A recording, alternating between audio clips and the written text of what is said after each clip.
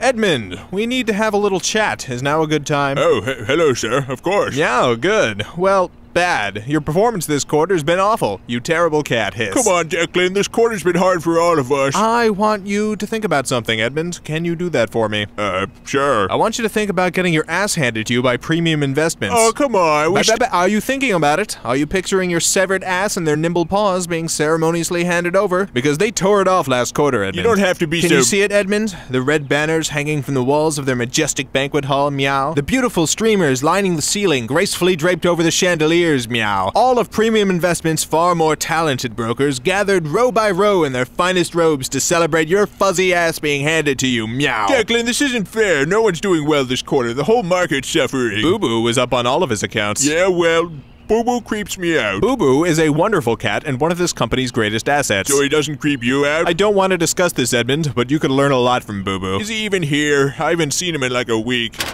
Yeah.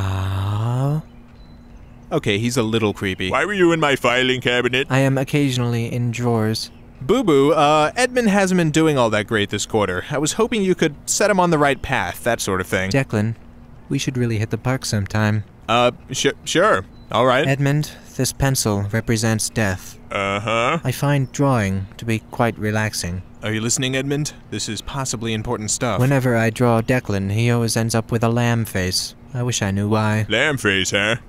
My heart stopped pumping itself a few hours ago.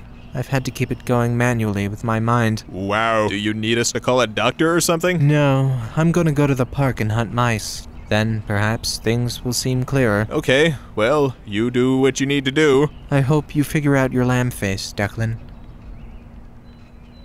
I feel weird. Yeah.